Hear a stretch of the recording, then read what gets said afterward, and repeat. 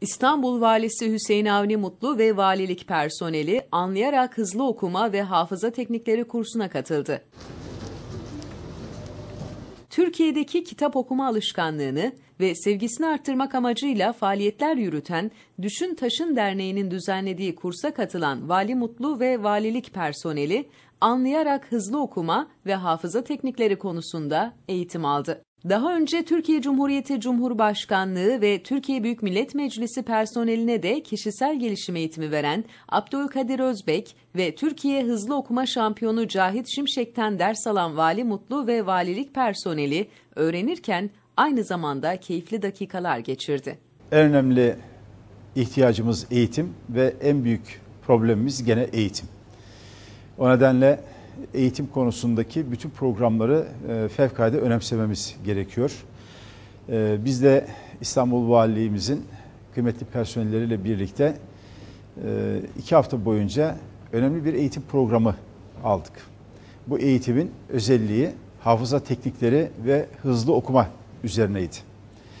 Gerçekten bu konuyla ilgili ihtiyaç içerisinde olduğumuzu da düşünüyorduk. Çünkü okumanın çok önemli olduğunu ve daha fazla okumamız gerektiğine inanıyoruz.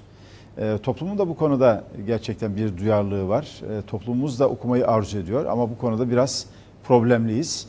E, bunu çözebilmenin yolu da galiba daha hızlı okuyabilmekten ve daha keyifli okuyabilmekten geçiyor. Düşün Taşın Derneği ile birlikte kıymetli hocalarımızla e, bu konunun eğitimini e, almaya karar verdik.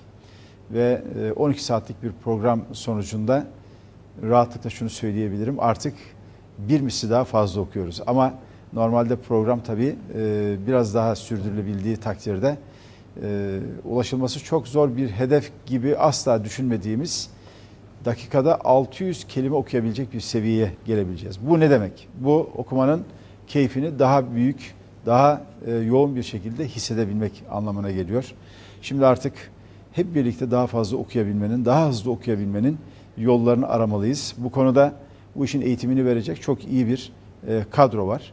E, dolayısıyla e, bu ekibin önümüzdeki dönemde Milli Eğitim Bakanlığımızın, İstanbul'da Milli Eğitim Müdürlüğümüzün, okullarımızın, sevgili çocuklarımızın iştirak edebilecekleri kampanyalarda önemli mesafeler kat edeceğini düşünüyoruz. Ben de bu şehrin valisi olarak eğitim konusunda önümüzdeki eğitim öğretim yılıyla birlikte gerçekten önemli bir hamle yapmayı açıkçası arzu ediyorum. Bu konuda yeteri kadar e, deneyim var, yeteri kadar tecrübe var ve e, ihtiyacımız olan şey karar vermek ve inanmak.